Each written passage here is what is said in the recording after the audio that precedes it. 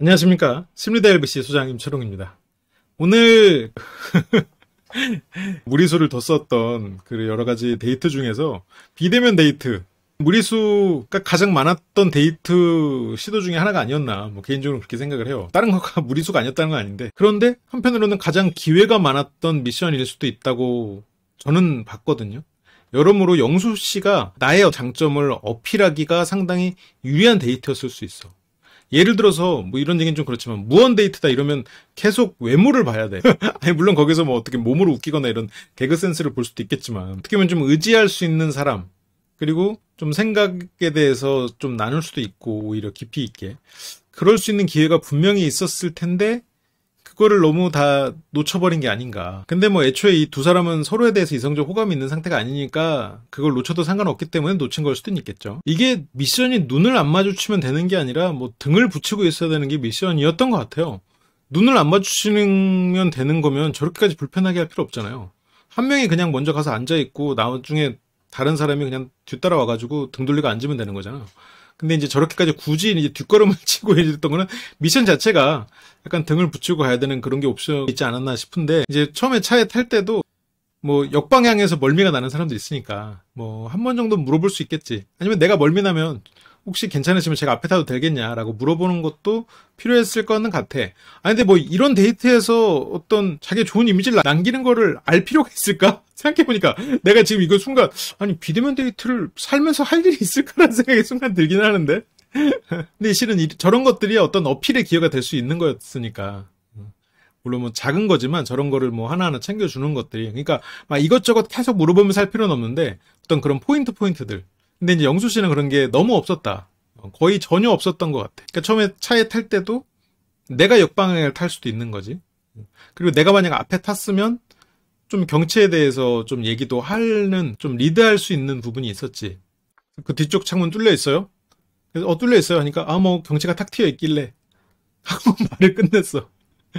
그럼 뚫려 있어요. 그러면, 어, 저게 지금 바닷가나 이런 거 보이겠어요. 같은 풍경을 보면서 가고 있다고 생각하니까 둘이라는 생각은 드네요. 뭐 이렇게 표현할 수도 있었겠지. 근데 이제 어, 탁 튀어 있길래 이러면 그 다음에 무슨 말을 해? 그래서 대꾸할 말이 없잖아요. 그리고 이제 내릴 때도 문을 좀 확실하게 열어주면 좋았을 텐데 그건 뭐 이렇게 안 보이니까 뭐 어쩔 수 없는 부분이 있었겠죠. 그리고 메뉴를 정숙 씨가 시키던데 이거는 뭐 더치가 안 되나? 랜덤 데이트는 제작진이 주는 돈이야? 그리고 이제 정숙 씨가 음료를 두 개를 들고 걸어가고 있고, 물론 영수 씨가 뒷걸음질을 치고는 있지만, 거기서 이제 내껴 하나 내려놓고 가야지. 그러니까 이제 정수 씨가 아, 알았어요. 그럴 거예요. 그럴 거예요. 약간, 알았어요. 한다니까? 빨리 할게, 빨리 할게. 약간 어떤 업무 처리를 책임받는 입장, 그런 표현이 나오죠. 정수가 이제 세팅까지 해드린다고. 이렇게 얘기가 나오는 거죠.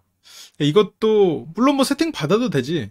근데 여기서는, 어, 뭐 고맙다라거나, 음, 여기서 뭐 나도 뭘 마셔야 될 거 아니야. 이런 표현은, 뭐랄까, 너무 좀 상대가 이렇게 좀 아랫사람이라는 느낌을 주죠. 상대를 좀 아랫사람으로 보고 있다는 느낌을 주지.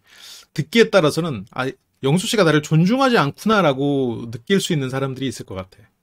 그래서 여기에서도 영수 씨가 조금 더 이렇게 상대에게 뭐 하대하는 느낌을 좀 덜 줄 거였으면 아 이거 제 거를 제가 들을 수 있었으면 좋았을 텐데 이게 뒷걸음질 치다가 혹시라도 더 민폐일까봐 아 제가 좀 신뢰를 좀 무릅쓰겠습니다. 제 거 좀 자리에 좀 놔주고 가시면 좋겠어요.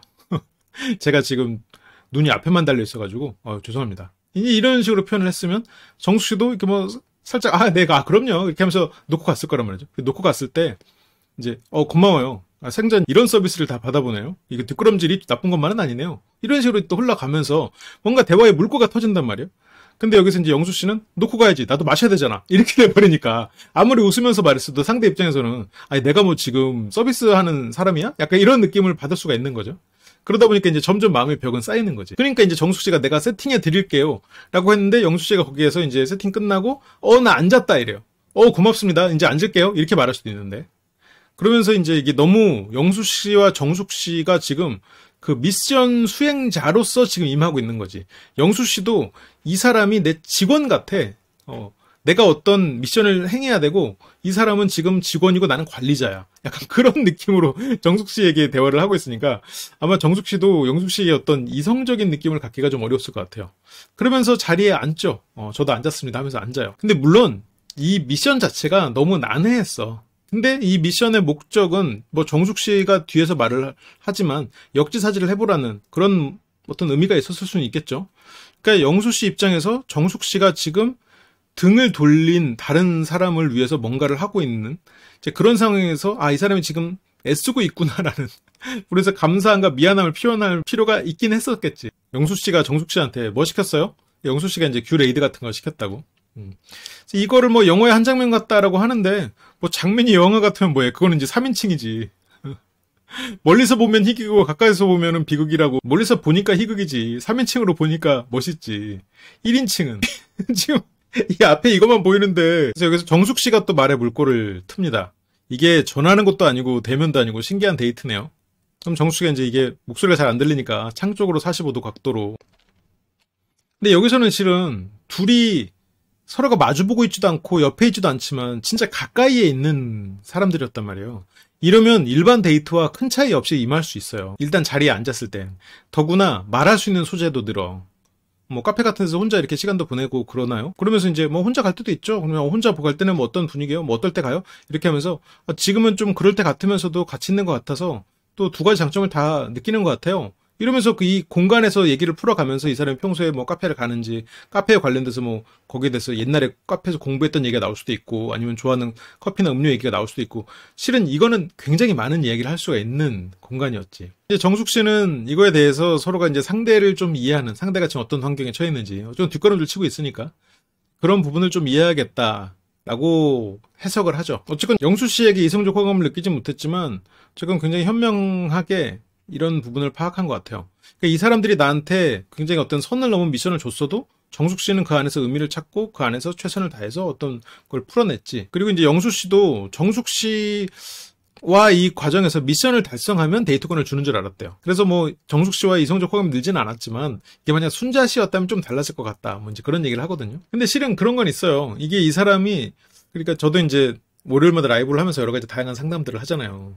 그래서 막 갈등이 있는 상황들을 예를 들어가지고 저한테 이제 상대의 마음을 알려달라고 하는데 어떤 마음을 알려주고 이런 것보다도 이 방식이 너무 달라. 그러니까 이 사람은 나에게 어떤 반응을 안 하고 나한테 어떤 선택을 할 수 있도록 기회를 주는 것.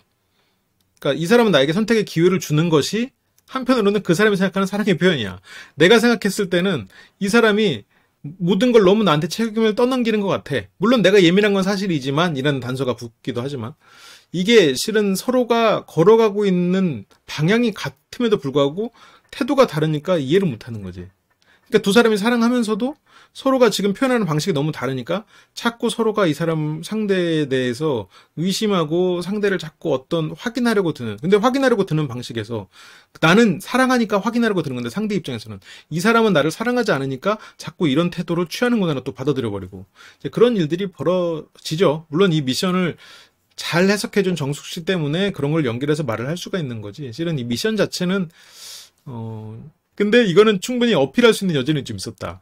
영수 씨가 편하게 만날 수 있는 이성, 좀 주변에 대등한 관계로서의 여성의 존재가 좀 없지 않나. 가족으로서 뭐 부모님이라던가 아니면 직원이라던가 뭐 이제 그런 분들, 그냥 친구나 아니면 이렇게 같이 이야기를 나눌 수 있는 그런 이성은 없었겠구나라는 생각은 좀 들어요. 호수 씨도 이렇게 뒷걸음질 치고 있고 굉장히 긴장해 있고 이러다 보니까 어떻게 보면 뭐 상대를 걱정해 준다거나 뭐 감사를 표현한다거나 이제 그런 것들을 좀 생각을 못 했을 수 있겠지만 그런 부분에 있어서 영수 씨는 이 미션을 통해서 좋은 기회를 얻을 수 있었음에도 불구하고 그런 걸 좀 많이 놓치지 않았나 뭐 그런 생각을 좀 했습니다.